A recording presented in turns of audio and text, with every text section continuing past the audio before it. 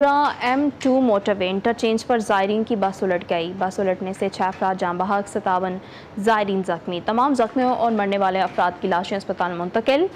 जायरीन की बस तेज़ रफ्तारी और ओवरलोडिंग की वजह से उलट गई।